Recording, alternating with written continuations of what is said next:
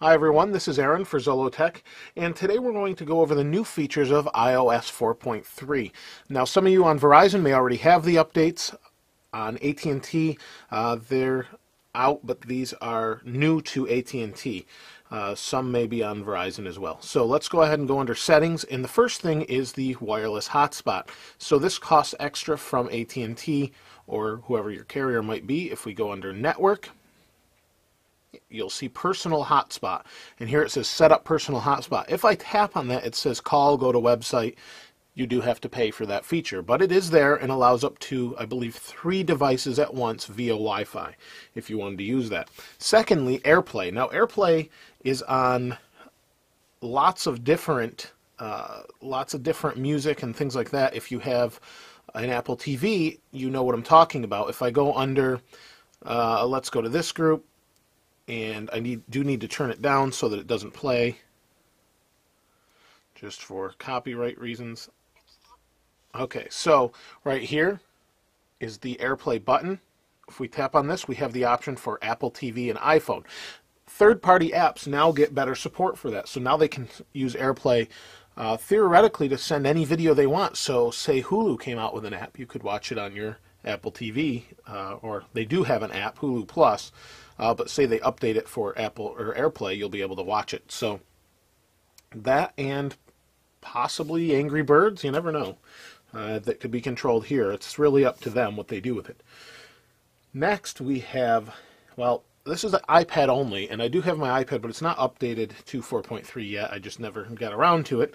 Uh, but it does allow for you to change this switch on the side on an on the iPad allows you right now to mute the iPad. Originally, it kept the screen from rotating, or it was a rotation lock. Now that's accessed down here, right there on the iPad as well. You now have the option to set this either to mute or rotation lock, which I like. I liked it better for a rotation lock. So you now have that option on your iPad. There are some new fonts for notes. Not not a huge deal, but they do exist.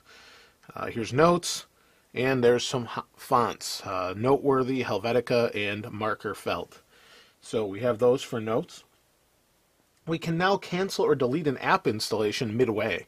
So if we're installing an app, uh, while it's installing, we can cancel it while it's installing. Instead of having to wait till it installs or fails to install, we can actually cancel it midway. I'm not going to, to demonstrate that. It's pretty self-explanatory.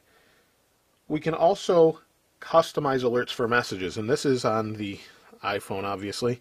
But here we have messages and play alert tone twice.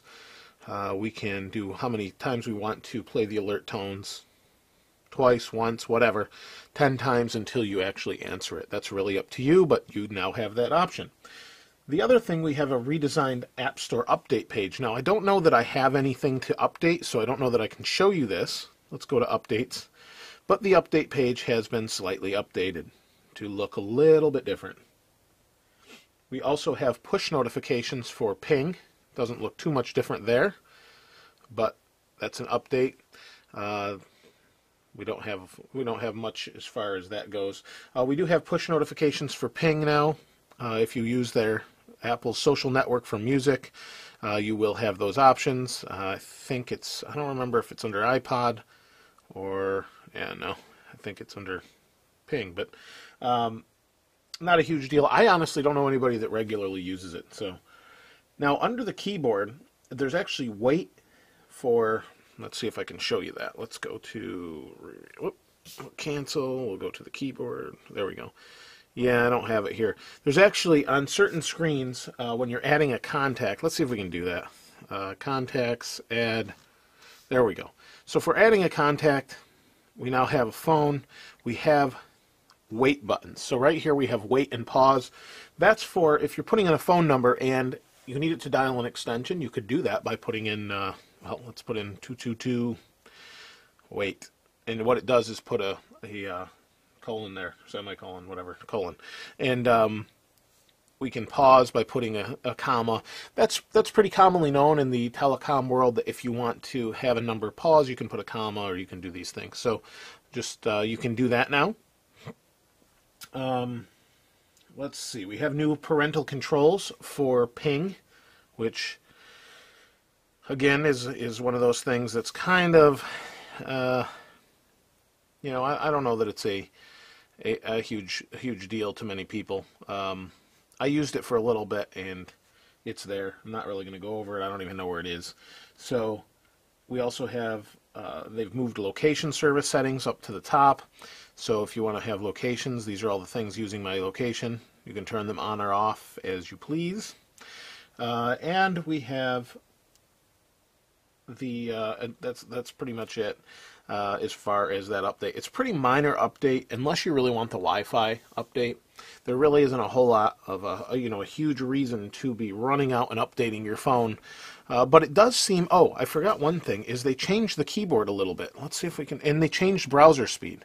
So here you can see there's an iPad 2 and the keyboard has changed slightly. Now it's really hard to notice until you compare it to an old one. If you look at this, it looks slightly different than the other one. Uh, the web browser is a little bit faster. They've sped that up a little bit. Um, it's hard to say how fat, much faster it really is, but it is faster. So there's not a ton of significant updates. I think for me, the biggest one is AirPlay. I'm not going to use the wireless hotspot. And on the iPad, the rotation lock switch. Those are probably the biggest things for me. But that's really all there is as far as the updates. Uh, I think I've covered every single one I could find uh, that people have discovered. So that's really about it. Um, if you have any questions, though, about the update, uh, I don't know of any current jailbreaks out for it. That doesn't mean the, that there won't be uh, in a day or so. Uh, but if you have any questions, please let me know. And if you've subscribed, thanks. If you haven't, please do. This is Aaron. I'll see you next time.